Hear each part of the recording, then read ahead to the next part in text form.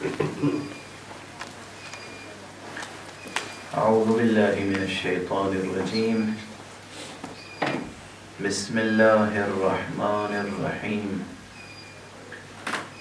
الحمد لله رب العالمين. والصلاة والسلام على أشرف الخلائق أجمعين. سيدنا وسيد الأولين والآخرين حبيبنا وحبيب إله العالمين إمام المرسلين وخاتم النبيين أبي القاسم المصطفى محمد. اللهم صل على محمد.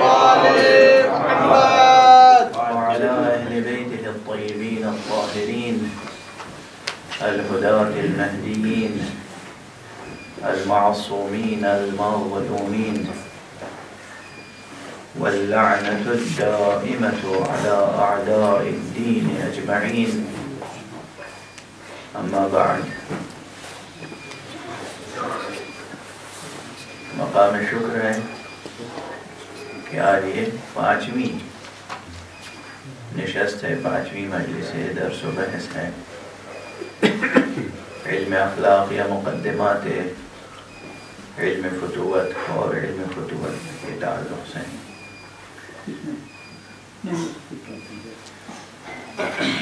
گزشتہ مباحث میں جو علم اخلاق کے مختلف مدارس ہیں، مختلف مکاتب فکر ہیں، اس میں جو سب سے زیادہ مشہور و معروف ہے اور مشترک ہے بہت سے مطالب میں دوسرے مکاتب فکر کے ساتھ اس مشترک اور اس مشہور نظریے کو بنیاد بنا کر کچھ باتیں ہم نے عرض کی کہ نفس انسانی میں بعض مفکرین نے تین بنیادی قوتوں کی نشاندہی کی۔ قوت عاقلہ قوت شہوانیہ اور قوت غضبیہ۔ اسے قوت شہوانیہ قوت غضبیہ، قوت عاقلہ کہنے کے بجائے بعض حضرات نے لفظ قوت کی جگہ نفس رکھ دیا۔ نفس شہوانیہ نفس غضبیہ۔ یا نفس سبعیہ اور نفس عاقلہ یا نفس ناطقہ اب میں جو اختلافات ہیں، جو اس پہ تفریعات ہیں، شاخ در شاخ بحثیں پیدا ہوئی ہیں، ان سب کی طرف اشارہ اس لیے نہیں کر رہا ہوں کہ پھر معین وقت میں سمٹ نہیں پائے گی بحث۔ علم اخلاق میں، جہاں یہ نشاندہی کی گئی کہ یہ تین قوتیں انسان کے نفس میں پائی جاتی ہیں، وہیں ان قوتوں کے ہوتے ہوئے انسان کے اخلاق میں کس طرح تنوع پیدا ہوا۔ ہر فرد کا نظام اخلاق دوسرے فرد سے الگ ہوتا ہے۔ کچھ باتیں کامن ہوتی ہیں، مشترک ہوتی ہیں۔ مگر اس کے باوجود ہر شخص کا اپنا ایک نظام اخلاق ہے۔ اور ہونا چاہیے۔ اس کو بھی میں کہتا ہوں کہ کثرت میں وحدت اور وحدت میں کثرت۔ مفاہیم بہت سے مشترک ہیں۔ لیکن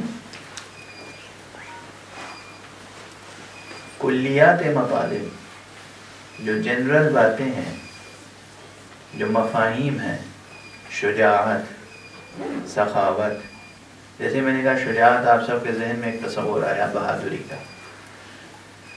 سخاوت، حکمت، عفت یا خوش خلقی، جیسے کہ خوش خلقی تو ایک تصور آیا کامن سب کے ذہن میں۔ اس کے باوجود ہر شخص کا برتاؤ کی منزل میں بیہیویئر کس طرح کوئی شخص خوش خلقی کا اظہار کرتا ہے، وہ دوسرے سے مختلف ہوتا ہے۔ اور یہ مختلف ہونا چاہیے۔ یہ لطف پروردگار نہیں اب یہ بڑی حد تک ہمارے بعض بزرگوں نے بحث کی ہے اور نشاندہی کی ہے۔ البتہ وہ بھی کلیات کی حد تک رہ جاتی ہے بات۔ یعنی جب بھی کوئی بات علمی سطح پہ ڈسکس ہوتی ہے نا، تو وہ جنرل پرنسپلس یعنی آپ کیٹیگرائز کرتے ہیں، آپ کلیسیفائی کرتے ہیں۔ بہرحال اس کو آپ عمومیت بخشتے ہیں۔ اور کلیت عطا کرتے ہیں، تب وہ بات علم کی شکل میں قابل فہم و قابل افہام و تفہیم ہوتی ہے، سمجھنے اور سمجھانے کے لیے۔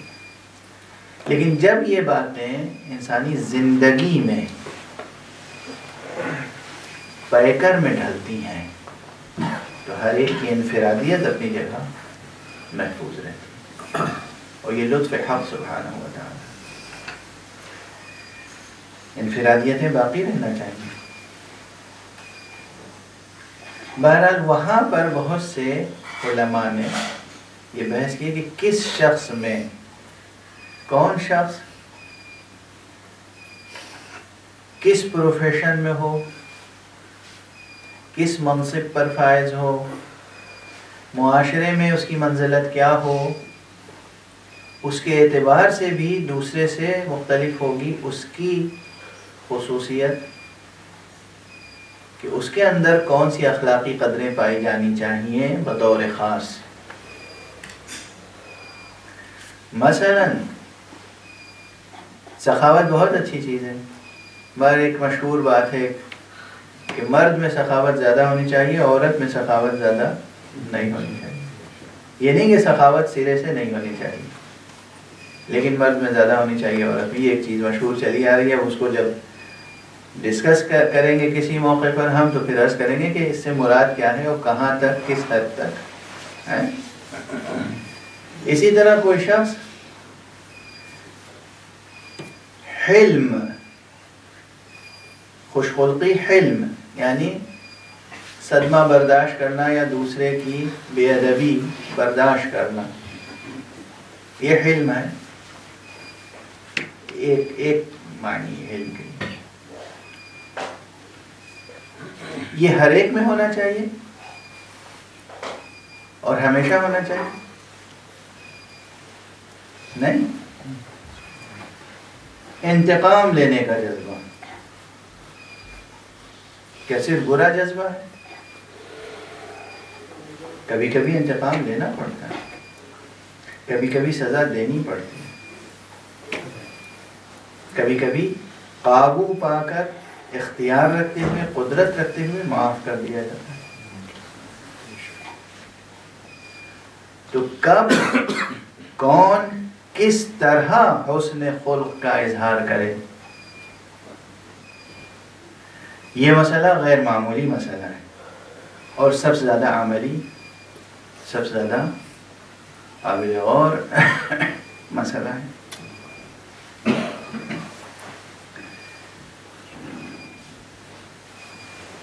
اخلاقی نظام میں جب خلل پیدا ہو جاتا ہے تو ایک سوال بڑا یہ ہے کہ یہ خلل دور کیسے کیا جائے؟ یا آج میں ایک اس طرح سوال قائم کروں آپ کے سامنے، جیسے بعض پرانے طبیب یا طب کی بعض مخصوص شاخوں میں قائم کیا جاتا ہے۔ کہ کبھی کبھی تو علاج ہوتا ہے لوکل یعنی سینے میں درد ہے تو وہ دوا دے دی تو سینے کے درد سے متعلق ہے۔ شکم میں تکلیف ہے، پیٹ میں تکلیف ہے تو وہ دوا دے دی جو اس تکلیف سے متعلق ہے۔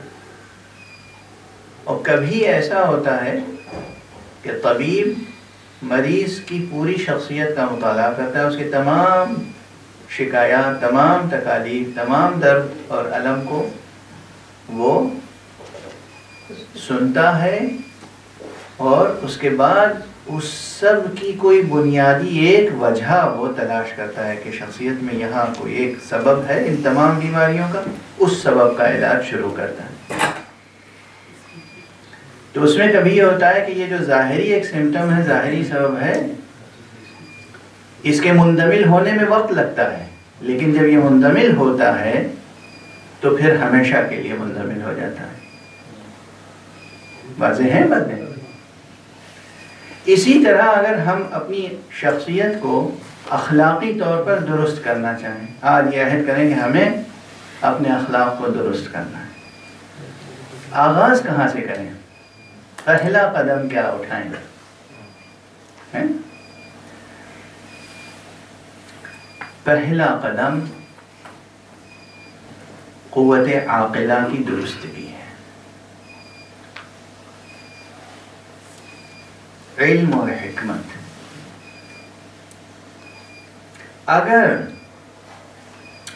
نفس انسانی میں جو قوت ناطقہ ہے، جو نفس ناطقہ ہے، جو قوت عاقلہ ہے، یہ صحیح طور پر کار فرما رہے تو باقی دو قوتوں کی سرکشی کو بھی کنٹرول کر سکتی ہے۔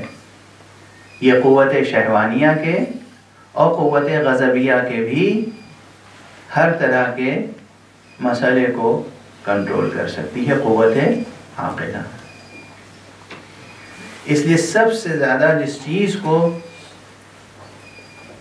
حد اعتدال اور حد توازن یا حد کمال تک پہنچانے کی ضرورت ہے، وہ ہے وصف حکمت یعنی قوت عاقلہ یا قوت ناطقہ اب یوں سن لیں گے تو حکمت بڑا لفظ ہے. صاحب، ہر شخص حکیم تو نہیں ہو سکتا، فلسفی نہیں ہو سکتا. ٹھیک ہے، اس معنی میں ہر شخص حکیم اور فلسفی نہیں ہو سکتا یعنی ہر شخص سقرات اور افلاطون نہیں ہو سکتا. بالکل درست ہے، ہر شخص ارسطو نہیں ہو سکتا، ہر شخص ابن سینا نہیں ہو سکتا. لیکن جو شخص جس دائرے میں ہے، وہاں پر وہ اپنے نفس میں قوت عاقلہ کو کمال کے درجے تک پہنچائے اور وصف حکمت کو پیدا کرنے اور ملکہ بنانے کی کوشش و سعی کرے۔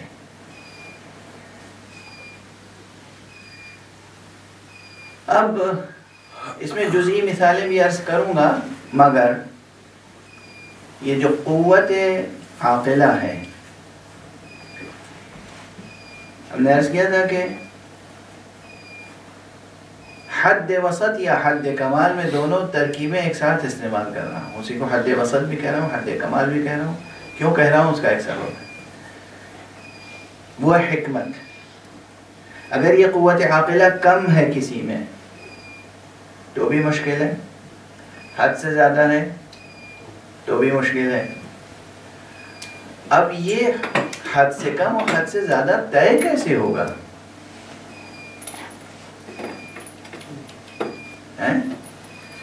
تو بہت سے حضرات نے اس کا تجزیہ کیا۔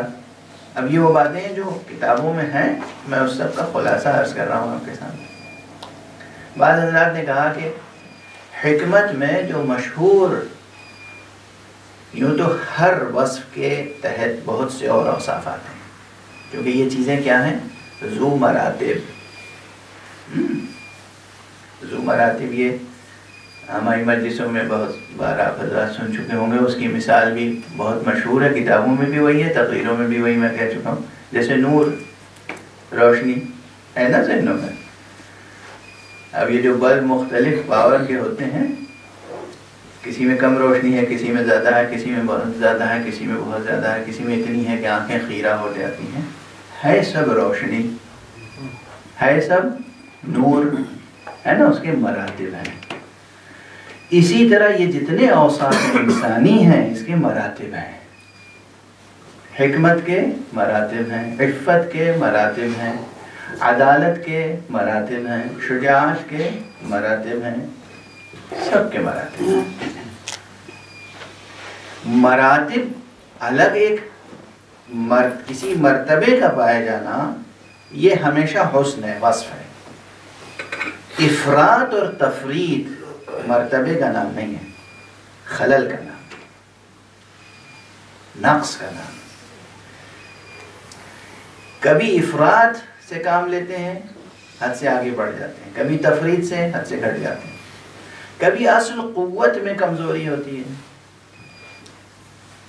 نہ سمجھی کسی میں ہے خدا نہ خواستہ نہ فہمی ہے، تو اس کا علاج کے بھی طریقے ہیں۔ لیکن یہ قوت عاقلہ، اس کے تحت جتنے بھی اوصاف ہیں، حد افراد میں، حد تفرید میں، جو خسائل ہیں، جو خصائص ہیں، جو اوصاف ہیں، وہ تو بہت ہیں۔ اصل وصف حکمت کے درجہ کمال تک پہنچنے کے لیے یا درجہ توازن تک پہنچنے کے لیے بعض حکمہ نے سات مزید خصوصیتوں کا ذکر کیا ہے۔ یہ سات پانچ میں بھی منحصر ہو سکتے ہیں۔ سب سے پہلی خصوصیت ہے، جس کو کہتے ہیں ذکا زال کاف، الف، حمزہ ذکا جسے اردو میں یہ ذکاوت بہت سے لوگوں کا نام ہوتا ہے ذکی۔ زال سے ذکی۔ ذکی یعنی ذہین۔ ہاں؟ اور زے سے ذکی ذکی یعنی پاک۔ اور زال سے ذکی یعنی ذہین۔ ذکاوت کیا ہے؟ کس چیز کا نام ہے ذکاوت؟ ذکاوت یہ ہے کہ انسان میں یہ ملکہ ہو کہ معلوم جو حقیقت ہے اس کے سامنے، اس کو دیکھ کے وہ نامعلوم کو معلوم بنا سکے۔ یہ ذکاوت ہے۔ گویا یہ تعریف علم منطق میں فکر کی تعریف کے قریب قریب ہے، نزدیک نزدیک ہے۔ لیکن اصل میں یہ قوت ہے۔ یہ قوت ہے کہ انسان کو کوئی چیز معلوم ہو اور فوراً وہ دوسری چیز کو معلوم کر لے۔ اب مثال کے طور پہ ہم عرض کر رہے ہیں، یہ مثال دقیق ہے یا دقیق نہیں ہے، اس پہ بعد میں گفتگو ہوگی۔ کہیں آپ چلے جا رہے ہیں اور آپ نے دھواں دیکھا۔ تو کیا ذہن کو یہ طے کرنے میں دیر لگے گی کہ دھواں کیوں ہے؟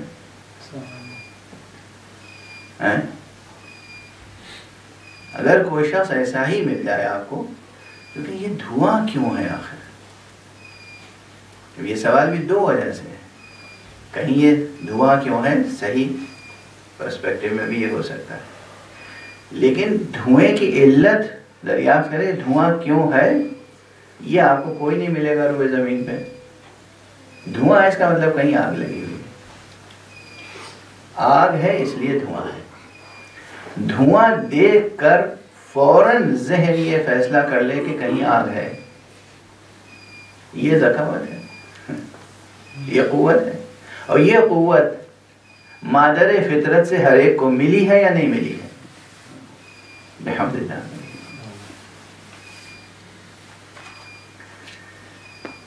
کوئی شخص دروازے کے باہر کھڑا ہے۔ اچھا وہ اپنی انگلی رکھتا ہے، ایک بٹن پہ اس سے گھنٹی بجتی ہے۔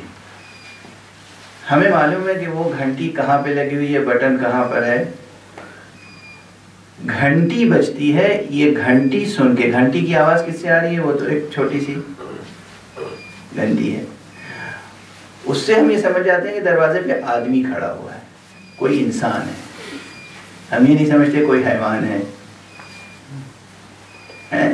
اب کوئی شخص روئے زمین پہ کوئی ایسا ہوگا جو اس فیصلے میں دیر کرے، تاخیر کرے، نہیں ہوگا۔ تو گھنٹی کی آواز سن کر، دروازے کی گھنٹی کی آواز سن کر یہ سمجھنا کہ دروازے پہ انسان ہے۔ انسان ہے، حیوان نہیں ہے، انسان ہے۔ دھواں دیکھ کر یہ سمجھنا کہ کہیں آگ ہے۔ یہ ذہن کے اندر خود بخود قوت پائی جاتی ہے۔ اس قوت کا نام ہے ذکا۔ یہ بنیادی طور پر یہ ہونی چاہیے۔ پہلا رتبہ درجہ حکمت تک پہنچنے کا ہے کہ یہ قوت ہمارے پاس محفوظ رہے۔ اب دیکھیے یہیں پر مثال کے طور پر کر رہا ہوں، خدا نہ خواستہ کسی کا کہیں ایکسیڈنٹ ہو جائے، سر میں چوٹ آ جائے، کچھ ہو۔ اور اس کے بعد وہ آنکھیں تو کام کر رہی ہیں، وہ دیکھ رہا ہے دھواں، لیکن یہ نہیں سمجھ پا رہا ہے کہ کہیں آگ ہے۔ اس کے معنی یہ ہے کہ وہ اصل قوت جو ہے، متاثر ہو گئی۔ یہاں افراد و تفرید کا مسئلہ نہیں ہے۔ یہاں یہ مسئلہ ہے کہ اصل قوت جو ہے وہ ڈیمیج ہو گئی، متاثر ہو گئی۔ اب تدبیریں کی جائیں گی دوا سے، علاج سے، ریاضت سے ایکسرسائز سے کہ کسی صورت سے وہ قوت پیدا ہو جائے۔ پیدائشی طور پر اگر کسی کے ہاں یہ قوت نہیں ہے، جو بچے عام طور پہ آپ دیکھتے ہیں اس طرح کے کبھی کبھی، تو اس کے لیے بہت کچھ تدبیریں کی گئی ہیں اور کی جا رہی ہیں مسلسل کہ جو قوتیں پیدائشی طور پہ کہاں متاثر ہوا یہ ذہن؟ رحم مادر میں۔ کس مرحلے میں متاثر ہوا؟ کیوں متاثر ہوا؟ یا پیدائش کے دوران متاثر ہو گیا؟ یا پیدائش کے فوراً بعد متاثر ہوا؟ کب؟ کون سا صدمہ ہوا؟ کون سا واقعہ ایسا ہوا؟ جس کی بنا پر یہ بچہ نارمل نہیں ہے۔ یہ بحث اہم ہے اور ان مباحث میں تھیوریٹیکلی اور پریکٹیکلی کام کرنے کا بڑا عجر و ثواب ہے چونکہ آپ انسانیت کی خدمت کریں۔ آپ انسانیت کی خدمت کریں۔ بہرحال تو ایک قوت یہ ہے، قوت زکا دوسری منزل ہے جسے کہتے ہیں قوت زکا کے بعد، وہ کہتے ہیں سرعت فہم۔ ابھی قوت زکا میں اور سرعت فہم میں فرق کیا ہے؟ بہت سے لوگ یہیں پہ ٹھہر جاتے ہیں، قوت زکا اور سرعت فہم۔ دونوں میں فرق کیا ہے؟ فرق ہے۔ ٹیکنیکلی جن لوگوں نے ڈیفینیشن مقرر کی ہیں، تعریفات مقرر کی ہیں، اصطلاحات مقرر کی ہیں ٹرمینالوجیز مقرر کی ہیں، انہوں نے بتایا زکا قوت زکا یہ ہے کہ معلوم کو دیکھ کر، مجہول کو دریافت کر لیں۔ سرعت فہم یہ ہے، سرعت فہم یہ ہے کہ یہ جو معلوم ہے، اسی کے لوازم کا فوراً ادراک ہو جائے۔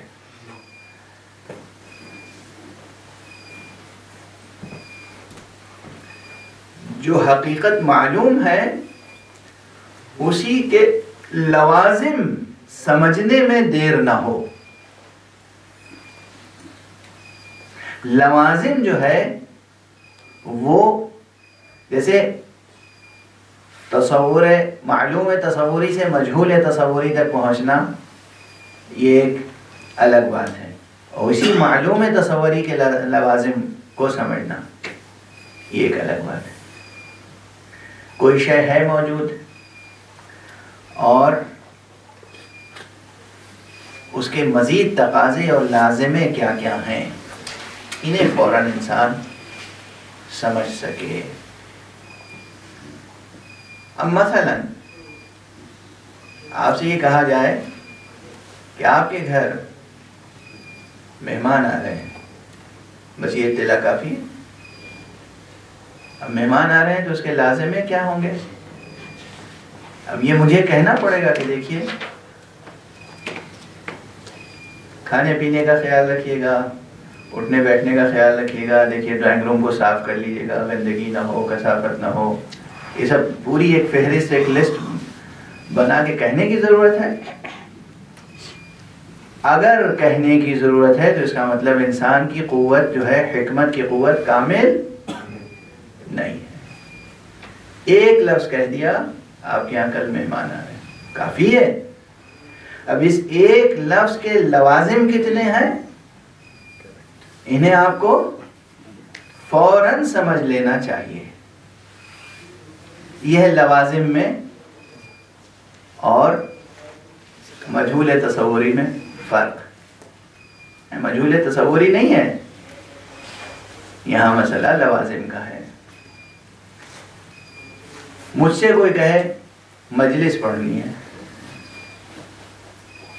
اب اسے یہ بتانے کی ضرورت ہے کہ آپ کو خطبہ بھی پڑھنا ہوگا، آپ کو فضائل بھی پڑھنے ہوں گے، آپ کو مسائل بھی پڑھنے ہوں گے۔ مجلس، ہمارے یہاں ایک چیز ہے، مجلس پڑھنی ہے۔ تو مجلس پڑھنی ہے، اس کا مطلب مسائل پڑھنے ہوں گے۔ اگر کہہ دیا محفل پڑھنی ہے، تو اس کا مطلب مسائب کا ذکر نہیں کرنا ہوگا۔ ہے نا، لوازم۔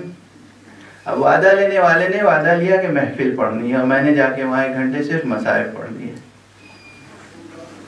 حکمت ہے یہ۔ اب وہ جب کہیں یہ کیا ہوا، تو میں کہوں آپ نے یہ تھوڑی کہا تھا کہ مسائل نہ پڑھیے گا۔ آپ نے کہا تھا محفل پڑھنی ہے تو میں نے پڑھ دی لوازم کو سمجھنے میں دیر نہ ہو سرعت فہمی ہے یہ میں نے مثالیں دی میں نے پہلے کہہ دیا کہ مثالیں بہت دقیق ہیں یعنی یا نہیں اس پہ بحث کی گنجائش ہے۔ لیکن تقریب خاطر کے لیے ذہن میں بات آ جائے کہ سرعت فہم۔ کیا ہے؟ اس کے ساتھ میں گفتگو کو سات مراحل ہیں۔ صورت فہم کے ساتھ ایک چیز ہے، حفظ۔ جو چیز معلوم کی ہے یا جو لوازمات ہیں، جو مستحضر ہو گئے یعنی ایک بار سامنے آ گئے، پیش نظر ہیں، یہ پھر یاد بھی رہیں۔ بیچ میں اور بھی عنوانات قائم کیے ہیں، کچھ لوگوں نے حسن تعقل، حسن تعلم۔ حسن تعلم یہ ہے کہ آسانی سے سیکھ سکیں۔ یعنی کوئی چیز نہیں معلوم ہے، کوئی سکھا رہا ہے تو آسانی سے سیکھ سکیں۔ اگر آسانی سے سیکھ نہیں پاتے تو اس کا مطلب کہیں نہ کہیں اس قوت میں کمی ہے۔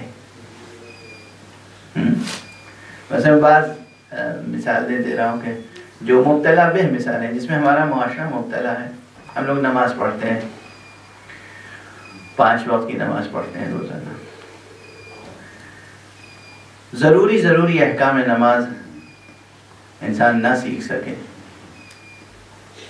یا وہی سورہ جو ہر روز سورہ حمد پڑھتا ہے، صحیح غلط نہ سیکھ سکے۔ نہ سیکھ پائے۔ یہ جو لوگ کہتے ہیں ہم سیکھ نہیں پاتے، وہاں مجھے بہت تعمل ہوتا ہے۔ میں آسانی سے یہ عذر قبول نہیں کرتا ہوں، میں یہی سمجھتا ہوں کہ یہ شخص پوری توجہ دے نہیں رہا ہے۔ لیکن نفس انسانی میں حق سبحانہ و تعالیٰ نے، خالق نے بڑی صلاحیتیں دی۔ اگر آپ کنسنٹریٹ کر کے، توجہ مبزول کر کے، کچھ بھی سیکھنا چاہیں تو نفس انسانی حق سبحانہ و تعالیٰ نے ایسا بنایا ہے کہ آپ جو سمجھنا چاہیں وہ سمجھ سکتے ہیں۔ جو سیکھنا چاہیں آپ سیکھ سکتے ہیں۔ حق سبحانہ و تعالیٰ نے آپ کے نفس کو یہ قوت دی ہے۔ نہ سیکھ پانا، نہ سیکھ سکنا یعنی کہیں نہ کہیں ہمارے ایفرٹ میں کمی ہے۔ کہیں نہ کہیں ہم سنسیئرٹی میں کمی ہے ایفرٹ میں کمی ہے، کوشش میں کمی ہے، قد و کاوش میں کمی ہے۔ یا ہم اس چیز کی اہمیت کو نہیں سمجھ رہے مولانا صاحب یوں ہی کہتے ہیں قرض بہت ضروری ہے۔ ہم جیسے پڑھتے آ رہے ہیں، پچاس سال سے ٹھیک ہے۔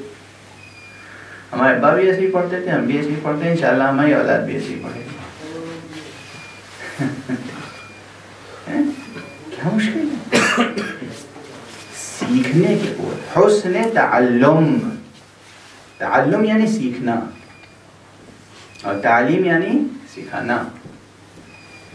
علامہ سکھایا تعلمہ خود سیکھا. تو حسن تعلم، یہ بھی ایک منزل منزل حکمت کی. ذکا، سرعت فہم، حسن تعلم، حسن تعقل. جو سیکھ رہے ہیں، اچھی طرح سے اسے کنسیو کر سکیں. کلیئرٹی آ جائے۔ ذہن میں، ذہن کا آئینہ اتنا صاف و شفاف ہو، صفائے نفس، صفائے قلب، صفائے ذہن، اتنا شفاف آئینہ ہو کہ جو بات ہم نے لفظوں سے سنی ہے، اس کی ذہن میں پوری تصویر بن جائے۔ تصویر مسئلہ، تصویر حقائق، تصویر تصورات، تصویر تصدیقات۔ یہ ذہن کے آئینے میں اور یہ اس فولاد کے آئینے میں یا شیشے کے آئینے میں یہی تو فرق ہے۔ یہ شیشے کا آئینہ اور فولاد کا آئینہ اسی چیز کو دکھاتا ہے جو دیکھے جانے کے لائق ہو۔ ذہن کا آئینہ وہ چیز بھی دکھا دیتا ہے جو ان آنکھوں سے دیکھے جانے کے لائق نہیں ہے۔ آئینے میں محبت دکھائی دیتی ہے، شیشے کے آئینے میں۔ مگر دل کے آئینے میں صاف نظر آتی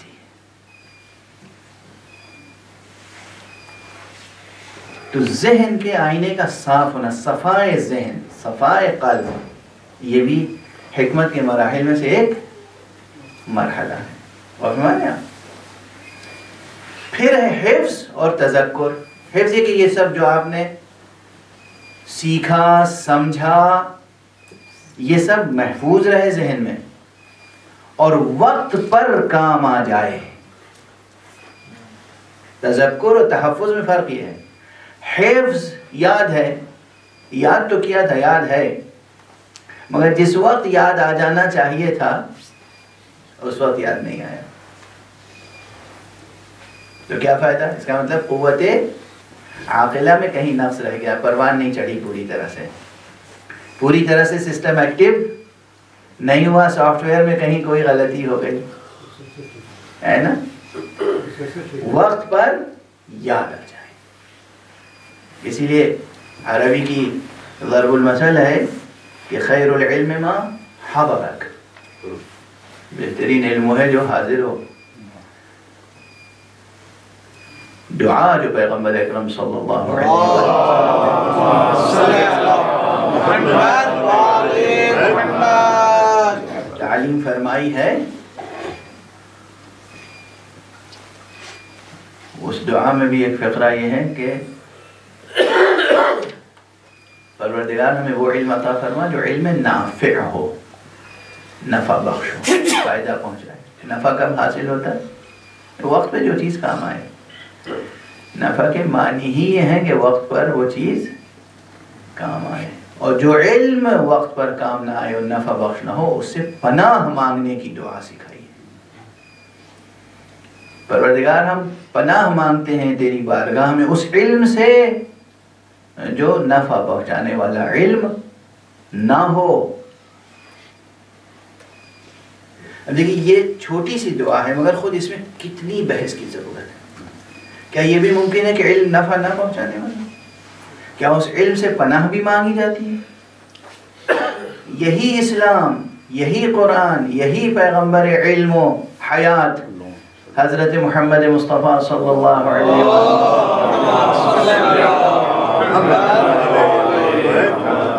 جنہوں نے علم حاصل کرنے پہ زور دیا ہے، وہی یہ دعا بھی سکھا رہے ہیں کہ پناہ مانگتا ہوں، پروردگار، تیری بارگاہ میں اس علم سے جو نفع بخش نہ ہو۔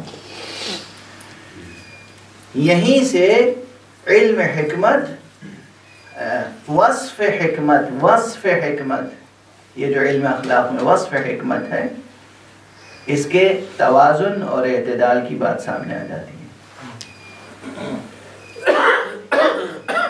یہاں پر بہت سی باتیں عرض کرنے کا جی چاہتا ہے۔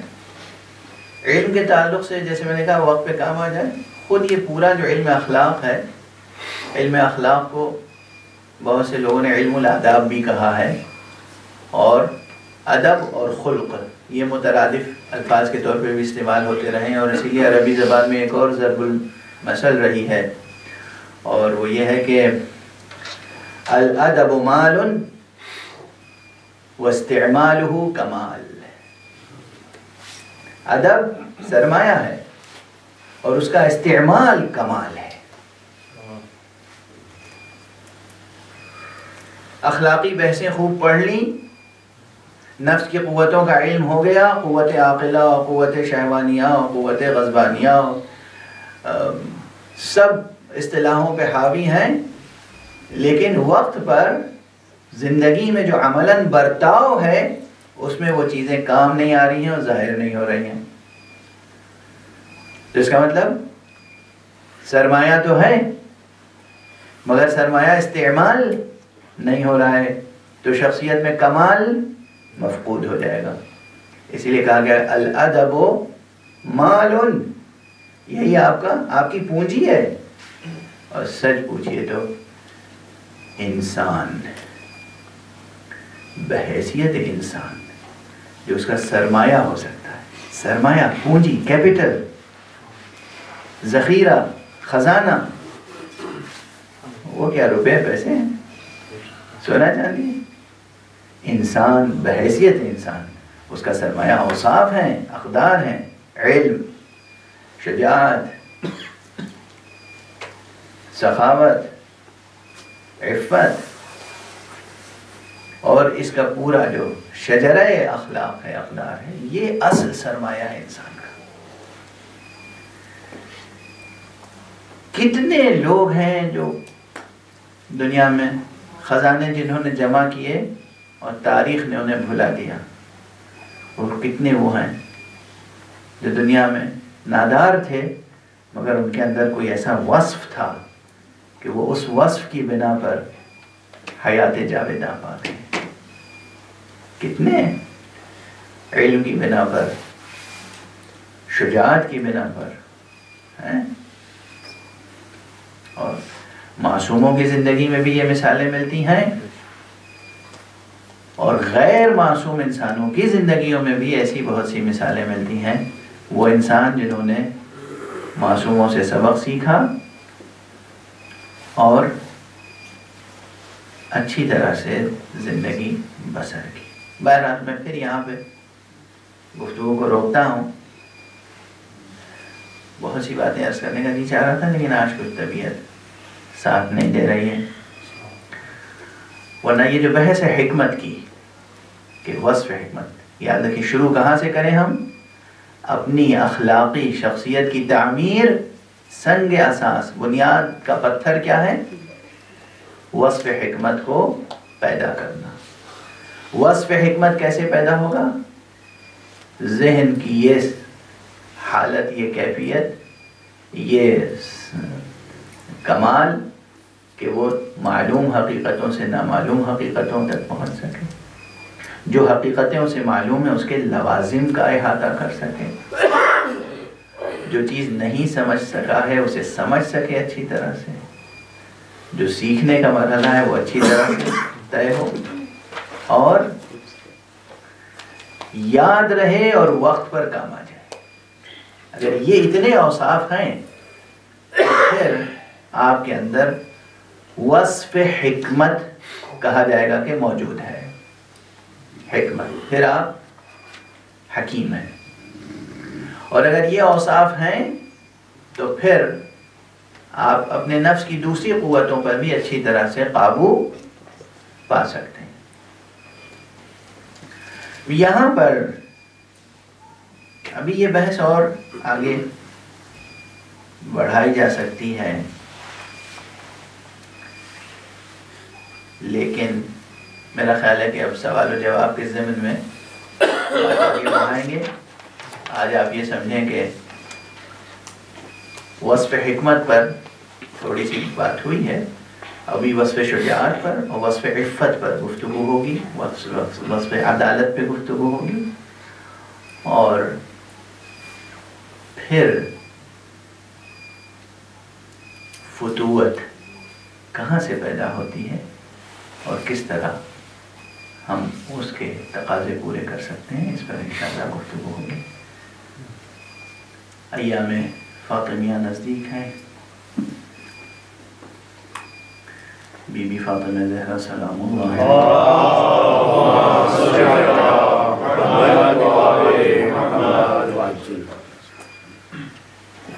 کی نوری اور نورانی شخصیت سے بھی توسل کیجیے۔ گا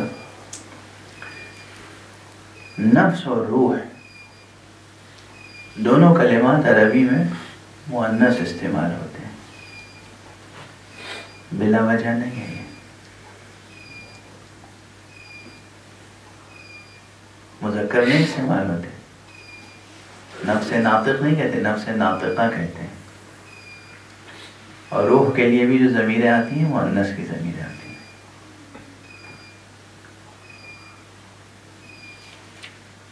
بہت فکر انگیز نقطہ ہے یہ۔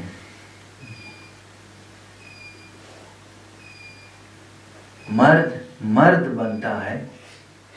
مردانگی کے جوہر دکھاتا ہے، مگر بنیاد کیا ہوتی ہے؟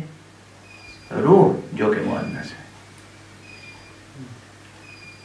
کس لحاظ سے معنس ہے؟ معنس حقیقی اور مجازی؟ ہے بحث میں ابھی نہیں کروں گا۔ کیوں آخر؟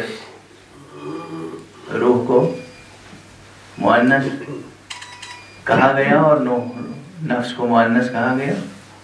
یہ آج نہ لسانیات کی بحث ہے، نہ صرف کی ہے، نہ نحو کی ہے۔ لیکن یہاں بہت نقطے پوشیدہ ہے۔ نفس قرآن مجید میں بھی جہاں جہاں آیا ہے۔ وہ نفس وما سوا ہاں ضمیر کون سی ہے؟ معنس کی ضمیر۔ اس نفس کو روح کو درجہ کمال تک پہنچانے کے لیے بی بی حضرت فاطمہ زہرا صلی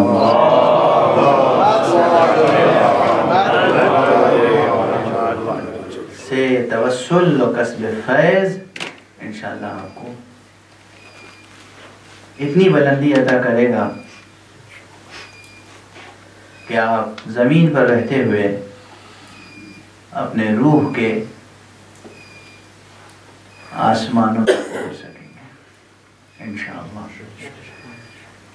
وآخر دعوانا أن الحمد لله رب العالمين.